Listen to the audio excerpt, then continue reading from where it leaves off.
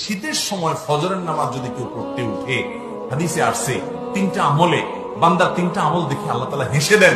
এর ভিতরে একটা হলো কনকনে শীতের মধ্যে, ঠান্ডার মধ্যে, বান্দা যখন আরামের ঘুমকে হারাম করে দিয়ে, কষ্ট উপেক্ষা করে, কম্বল ফেলে দিয়ে, হিম্মত এবং সাহস করে আল্লাহকে খুশি করবার জন্য, আখেরাতকে তার নিজের করবার জন্য সে যখন দাঁড়িয়ে যায়, উজু করে শীতের মধ্যে, সে যখন সালাদ শুরু করে, নামাজ শুরু করে দেয়, আল্লাহ তালা তখন বান্দারে আমল দেখে হেসে দেন।